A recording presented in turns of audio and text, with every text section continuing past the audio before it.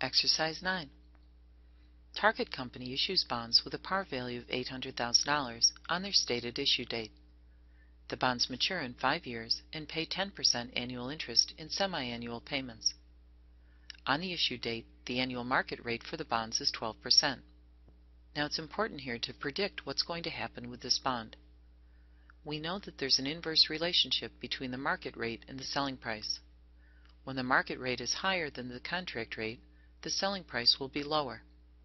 We expect this bond to sell at a discount. But let's go through and do the calculations. What's the amount of each semi-annual interest payment for these bonds? The semi-annual interest payment is based on the stated rate, the contract rate. $800,000 multiplied by 10% is $80,000. divided by 2 is $40,000. How many semi-annual interest payments will be made on these bonds over their life?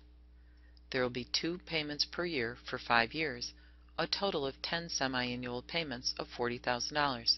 Requirement 3 asks us to use the interest rates given to determine whether the bonds are issued at a premium or a discount. Well, we already answered that question.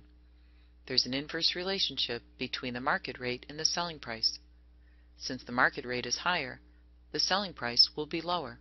These bonds will sell at a discount. Number 4. Compute the price of the bonds as of their issue date, and we're to use the present value tables. The repayment schedule for this bond is in two components. We know that there will be a lump sum payment of the par at the maturity date, $800,000, and there will also be a series of equal payments spread out evenly over time. The interest payments, 10 payments of $40,000.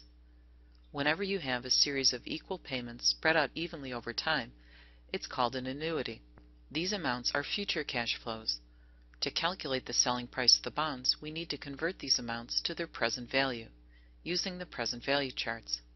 There's a single payment of $800,000, so we use the present value of a single sum chart. We go to the intersection of the semi-annual market rate, 6%, and the total number of payments, 10, and we see the factor of 0.5584.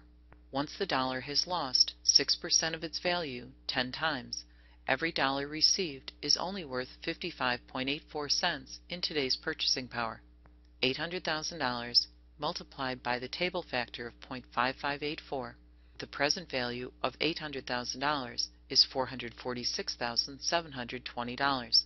To calculate the present value of our series of cash flows, the annuity, we go to the present value of an ordinary annuity table and we look up the same factors.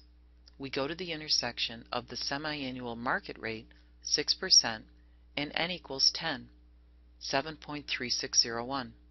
This factor can be viewed as the number of equivalent payments. Even though we're going to be making 10 payments of $40,000, in today's purchasing power, it's the equivalent of making 7.3601 payments of $40,000.